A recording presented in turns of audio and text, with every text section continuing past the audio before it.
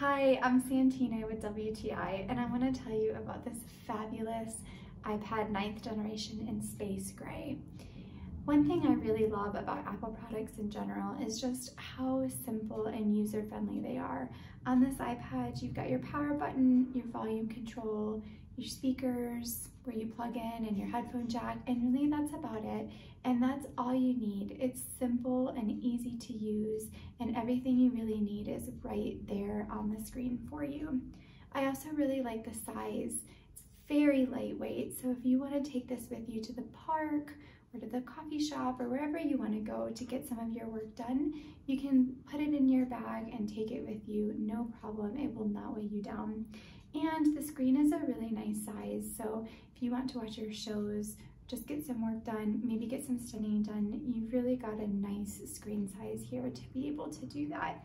Overall, I think that this is a beautiful product.